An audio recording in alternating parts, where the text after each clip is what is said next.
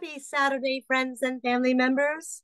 The scripture for today is Psalm 103 1 from NIV. Bless the Lord, O my soul, and all that is within me. Bless his holy name. The word of God for the people of God. Thanks be to God.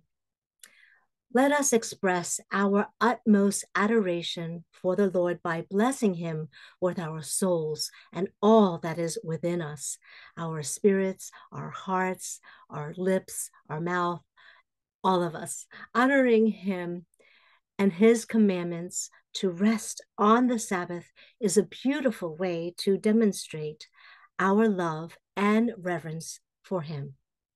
Let us pray. Heavenly Father, Lord, we are in awe of you.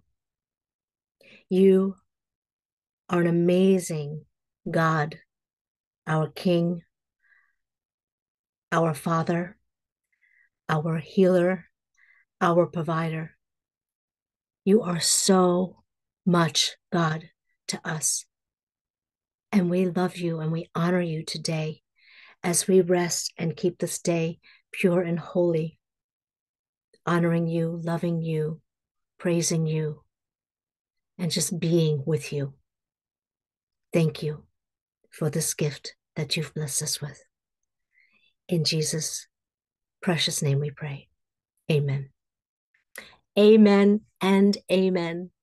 Until tomorrow, shalom.